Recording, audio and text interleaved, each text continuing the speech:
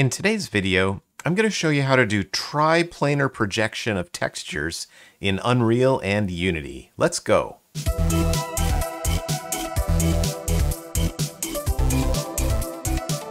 So first things first, two weeks ago, I showed you how to do texture projection uh, by using the position of the object as the texture coordinates to look up into your texture.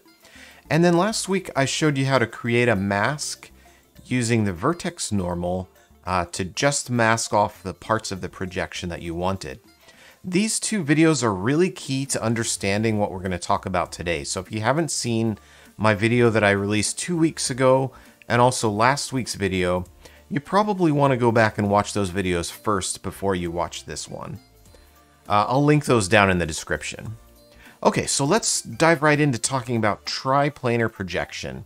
First, what does that mean exactly? Well, usually when we apply texture coordinates, or usually when we apply a texture to a model, we use texture coordinates. But instead of doing that, uh, what we're going to do today is project the texture onto the model in the X, the Y, and the Z direction. Right now we're looking at an example, and this is what we did last week. We're looking at an example of projecting the texture from the Y direction or from the top and from the bottom. And so what we're going to do today is expand on that and project the texture also from the front and from the side. So in order to do this, there, there are actually two different ways we can do this. There's the really cheap way uh, that has a little bit of an artifact, and there's the more expensive way that looks really pretty, but, but it costs more, obviously. So we're going to take a look at the cheap method first, and then I'll show you how to do the more expensive method. So in order to do the cheap method, what we're going to do is create texture coordinates for a top projection, a side projection, and a front projection. Then we're going to blend those texture coordinates together, and then we're going to use those coordinates to look up our texture. So let's get going with that. So here we have uh, our position, our vertex position, and we have a top projection. And we get our top projection just by taking the X and the Z. So the, the top projection is a projection on the Y axis. So the next thing that I need is a projection on the X axis. So I'm going to add another swizzle node here. And anyone, anytime you want to project in an axis, you isolate the other two axes to project on that axis. So I want to project on the X, which means I need to isolate the Y and the Z. So using the Y and the Z positions will give me a projection on the X axis. Similarly, uh, for projecting on the Y axis, I need the X and the Z axis. And then, or the X and the Z components of the position rather. And then to project in the z-axis, I need the x and the y. Okay, so these are going to become my texture coordinates. And I need to, uh, so I'm going to pro project in the x, the y, and the z. And now what I need to do is blend them together. So I'm going to add a lerp node. And first we're going to blend between the x and the y. And down here, this is the uh, this is the mask that we created in last week's video. And if we take a look at this, you can see that we have one mask for the Y, which is green, a mask for the X, which is red, and an X for the Z, and a mask for the Z, which is blue. Uh, so if we use our split node here, we can split these masks apart. Let's just preview what they look like really quick. So the X mask is projected from the side and it looks like this. So this is the mask that we're going to be using. So we want to, uh, since our mask is white for the X, that's why we put the X in the second uh, input port of the lerp node because we're going to be blending between uh, the Y, which is the top, and the X, which is the side. And then we're going to take the result of that and do another blend. So I'm going to add another lerp node. We're going to lerp between that and our z projected coordinates here. And since we want uh, we want to mask out the Z, we're gonna grab here. Let me just delete these here.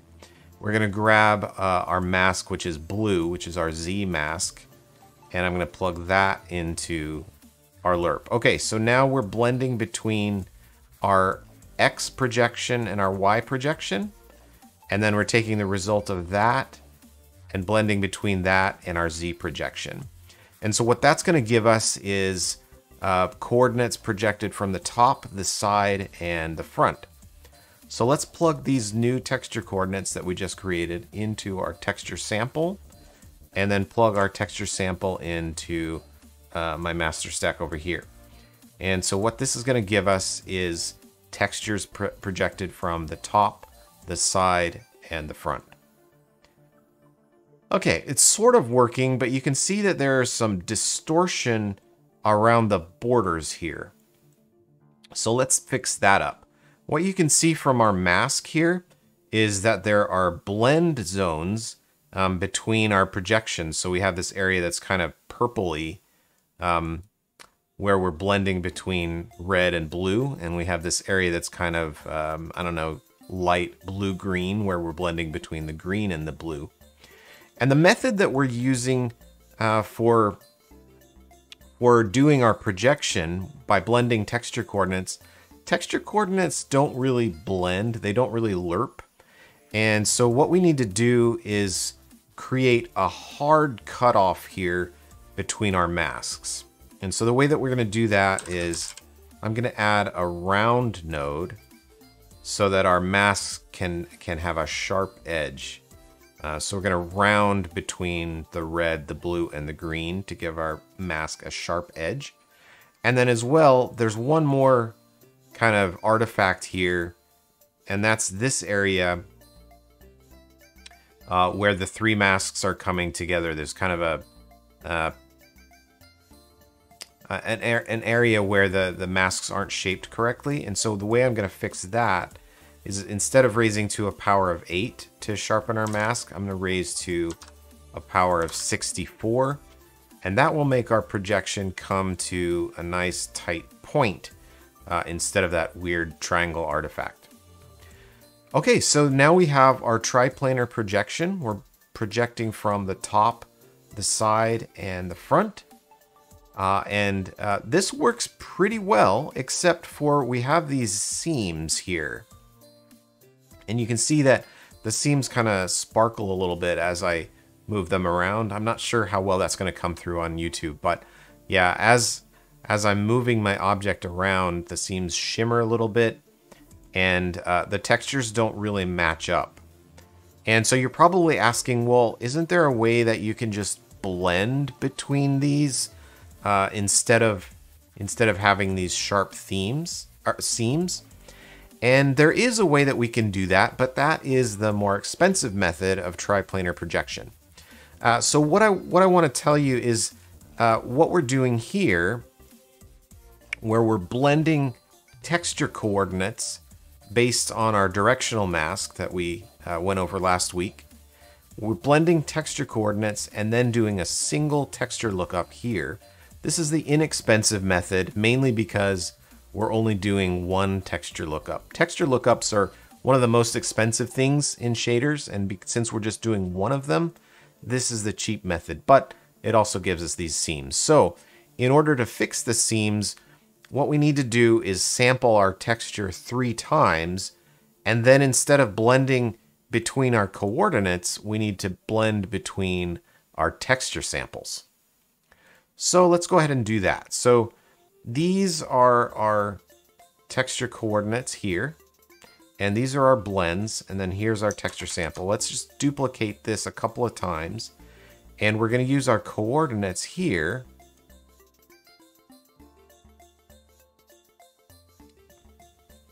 So this is our X projection, our Y projection,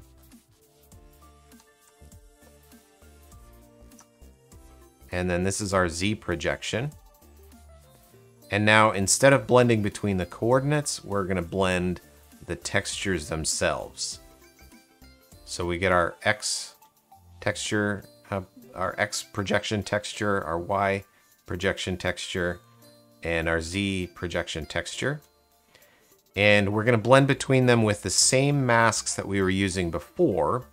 And now I'm going to plug this into our master stack and let's take a look at the results that we get from this.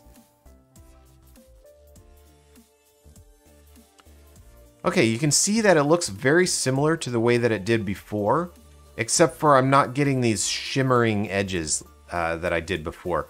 But I still have these hard seams.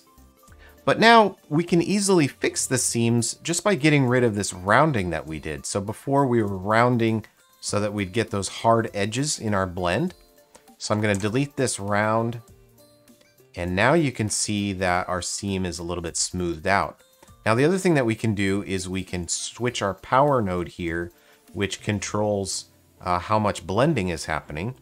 And so I set if I set this to a power of 8 instead of a power of 64, now we're getting smooth blending between our three projected textures. That's pretty cool. Uh, so we've got our top projection, our side projection, uh, and our front projection and we've got these uh, nice smooth blending zones between our masks uh, that get rid of those seams that we had from the other method. Now, like I said, this method is a little bit more expensive because we're doing three texture samples instead of one. And this actually translates to a lot if we do a color texture, a normal map, and a mask texture. Uh, if we're using all three of our material textures uh, and we're sampling each of them three times, this turns, all of a sudden, this turns into nine texture samples. So this method can be expensive. Uh, and if you can get away with the other method where you're just blending between the coordinates, you should try to do that if you can. Um, but if those seams are just, uh, if they're too apparent in your application, you probably want to use uh, this nice blending method instead. Oh, there's one other thing that I forgot to show, and that is you can control the number of times that you want your texture to tile in each of the dimensions by adding a multiply right here. So I'm going to add a multiply just to increase the size of my position data. And so if I plug my multiply into my three swizzle nodes here, now you can see that it'll be tiled two times. And this multiply here, whatever value I type in, is the number of times my texture is repeated in a one meter space, in a one meter projection. So if I want to project it four times in a meter, I can just type in a value of four. And if I want to if I want it to repeat 50 times in a meter, I just type in a value of 50. and then it gets super duper small. But anyway, that's how you can control the number of times that the texture tiles in one meter of world space. Okay, so that's how you do triplanar projection in uh, Unity. Oh, there is one more thing that I want to show you. Unity has this really cool node called triplanar, which is doing exactly the same thing as all of this stuff, except we're just doing it in a single node. So if I pick my cobblestones texture here, and let's see, we're tiling it three times. So I type three times here.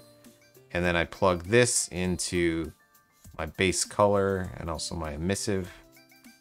I should be getting uh, pretty much exactly the same thing now as I got from, uh, from what I did here. So Unity has a built-in node for doing triplanar projection, which is pretty cool. So I don't actually have to go through and build all this. Now this triplanar projection is the more expensive version, so if you want to do the, the version where you're just blending the texture coordinates, uh, you can do that by, by creating uh, the graph yourself like I did just a minute ago. Okay, let's switch over to Unreal and I'll show you how to do triplanar projection in Unreal. All right, here we are in Unreal and we're gonna pick up right where we left off last week. Last week we were talking about creating uh, the masks uh, for the uh, uh, directional projection masks, and that's what we've got here. And then here we've got our projection that's projecting our texture from the top. And we multiply our mask by our projection to get rid of the parts of the projection that are smearing down the sides. Well, let's go ahead and turn this into our triplanar projection. And in order to do that, uh, just like we did in Unity, we need to uh, take our position here and uh, we need an X position, uh, a Y projection position, and a Z projection. So in order to do the X, we're going to take the Y and the Z. In order to do the Y, we're going to do... Oh, this is the Z, actually, um, because we've left out Z here. So in order to do the Y, we need to leave out the Y and just do the X and the Z. Okay, so these are our three sets of texture coordinates. And now we need to blend between them. So we're going to add a lerp node. So um, let's blend between the X projection and the Y projection. And we'll take the Y to blend between those. And then let's blend between that and the Z. And we'll take the Z component of our mask to blend between those. And then we'll use this as our texture coordinates. And we'll plug our texture into uh, our base node here. And just like we did in Unity, uh, we end up with a little bit of distortion on here to begin with. We still have our masks that have the blend zones between them. And so we need to sharpen these up. So instead of raising them to a power of 8, we're going to raise them to a power of 64 to tighten them up. And then we can get rid of these uh, border artifacts uh, by adding the round node here right after our divide. So there's our round. And now we're going to just have our binary masks and so now we have a mask for the X, Y, and Z, and they have these nice sharp edges. Uh, and we end up just like we did before. So this is the um, this is the fast, efficient way of doing it because we're just sampling our texture one time. Um, but we do end up with these seams on our model. So if we don't want the seams, we can do it the uh, slightly slower way uh, of sampling the textures first and then blending between the texture textures. So I'm going to take my texture sample here and duplicate it a couple of times. We're going to use our X projection for the first sample, our Y projection for the second sample, and then we're going to take our uh, Z projection for the third sample. And we're going to blend between our X sample and our Y sample using our Y mask. And we're going to blend between that and our Z sample using our Z mask. And then the final result is going to be those three textures blended together. So I can plug that into my base color. And now I have all three textures blended, but I still have the seams. And so I need to adjust my directional mask. So instead of raising to a power of 64, we're just gonna raise it to a power of eight. And instead of rounding, we're just gonna get rid of this round and that's gonna allow us to have a mask with these nice smooth blending zones which completely gets rid of our seams. Okay, so there you have it. We've done our triplanar projection. And so now we have uh, a texture projected in the X, a texture projected in the Y, texture projected in uh, the Z, and we're blending them together based on our directional masks. Now, uh, that brings us to the end of today's tutorial. What we're going to do next time is uh, we're going to turn this system into a little bit more usable system because what we really want to do is do triplanar blending of our whole material, not just a single texture. Um, here we've just blended uh, our color texture, um, but we're also going to want to blend uh, our normal map as well as uh, our mask texture. And there's a little bit of some, some special considerations that you have to use when blending normal maps. And so next time we're going to go over that.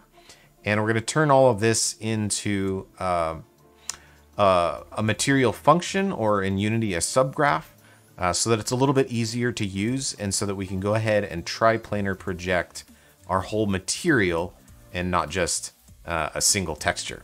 I hope you'll come back for that one. Thanks a lot for watching today. I hope you learned something and that now you can uh, apply the principles that, that I've showed here uh, to create your own triplanar projections. And uh, we'll see you next time, everybody. I'm going to take a little bit of time off for the Christmas holiday, so uh, the next video that I'm going to release is going to be coming out uh, probably the second week in January. Uh, I hope you guys have a nice holiday, and uh, look forward to seeing you again next year. Thanks for watching.